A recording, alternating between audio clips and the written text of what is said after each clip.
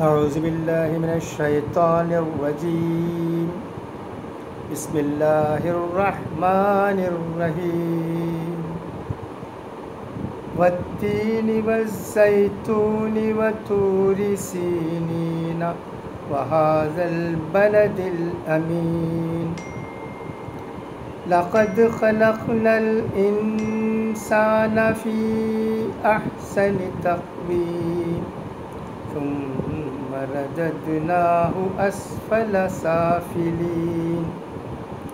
إلا الذين آمنوا وعملوا الصالحات فلهم أجر غير ممنون. فما يكذبك بعد بالدين. أليس الله بأحكم الحاكمين؟ صدق اللہ العلی العظیم۔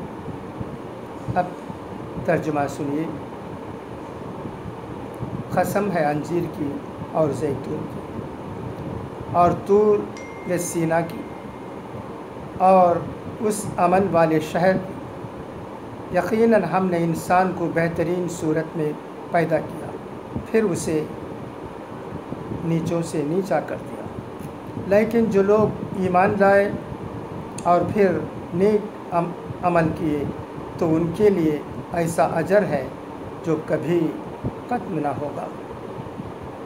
बस तुझे अब रोज़ जजा के झुटलाने पर कौन सी चीज़ आमदा करती है? क्या अल्लाह सब हाकिमों का हाकिम नहीं है? खुदा हाफिज़। फ़ी अमान